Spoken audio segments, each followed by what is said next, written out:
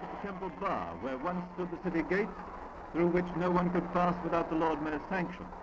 The pearl sword, symbol of the city's power, and sword, cathedral. Cheers proclaim the arrival. The king and queen enter the sacred building centres of worship. His Grace the Archbishop of Canterbury leading for the king's reign of 25.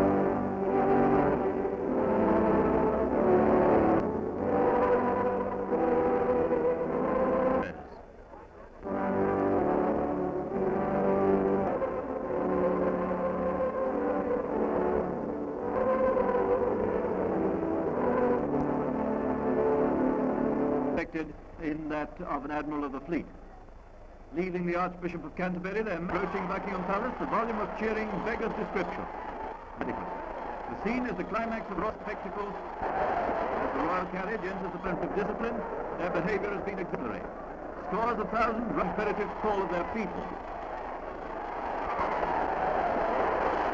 Thus, to show again its loyalty to our beloved King and Queen, George and Mary brings also tremendous new responsibilities to the living. Coronation of King George V commenced a new era in world history. The acclamation of the new sovereign was sincere. The cheers of the people were an expression of solid, utter respect down to the last man and woman. God save the King was and still is a phrase used with deep feeling. Surface troubles have never loosened the roots of loyalty even in the most contentious. The early years of their marriage